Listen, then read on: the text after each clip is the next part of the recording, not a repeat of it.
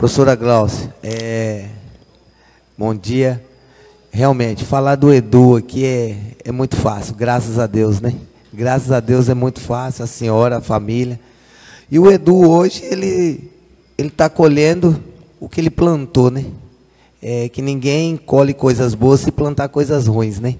Então, o Edu mais que justo, com calma, com paciência, estava aí nesses nove meses, presidente. Ele não era o superintendente, estava lá junto, somando, e hoje, né, veio a, a coincidir presidente, o, o governador Eduardo Rido, a, vendo, né, a a pessoa do Edu, vendo a competência do Edu, colocou ele como superintendente de cultura do nosso estado.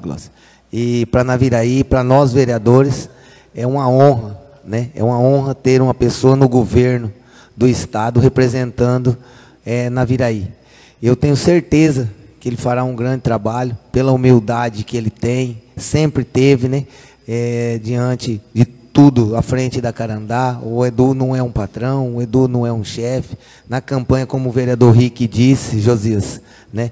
com muita calma, tranquilidade, às vezes bicho pegando fogo, ele fala: "Não, calma, não é assim. Calma, vereador. Eu tenho pegando fogo, Glaucio. E ele falando: "Calma, calma".